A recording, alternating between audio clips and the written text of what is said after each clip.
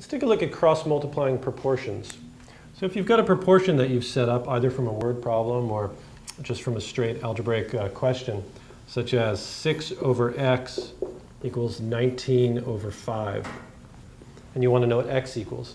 Um, there's a couple different ways to do it. You can guess and check, uh, but the best way to do it is just to cross multiply. So you're going to do, cross multiply literally means you're going to cross them and you're going to multiply. So you're going to do 5 times 6 and 19 times x.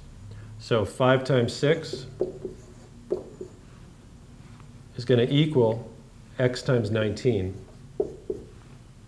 So 5 times 6 is 30 equals 19x. And then you're going to solve for x.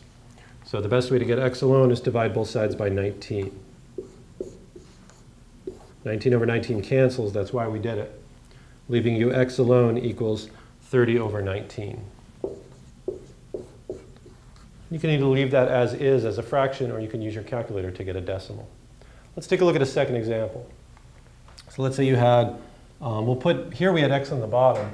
Let's put x on one of the tops. So let's say you had x over 9 equals 4 over 27.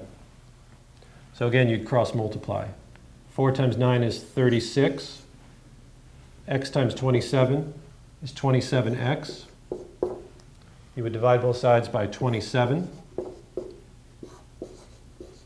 The reason we do that is because 27 over 27 cancels out, giving you x alone, which is why we did it, equals 36 over 27. Again, you can leave that as is, or you can get a decimal. Also, with a number like this that reduces, it's not a bad idea to reduce. So if you wanted to reduce this, you could divide the bottom and the top by 9. So 36 divided by 9 is 4. 27 divided by 9 is 3.